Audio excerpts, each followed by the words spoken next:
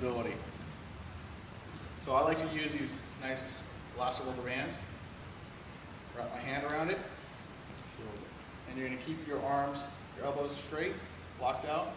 Here, start at your chest level, and you're gonna rotate all the way up and back down, touching the rope to your back or your butt, and back up.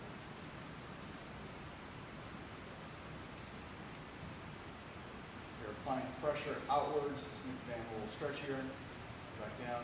The key here is not bending the elbows as you come over. So you can actually stretch the band out as far as you can to keep your arms straight. This is really good rotation of the shoulder girdle and open up the shoulders, especially since we have that protracted shoulder girdle, the shoulders rounded in, indicating some tightness to the shoulder and pecs. This is a good way to open that up. You can advance from going from a rubber band into a stick or something that won't bend. And you can get closer in as you go around. Here we're going to go for like 15 reps, 15 to 20 reps.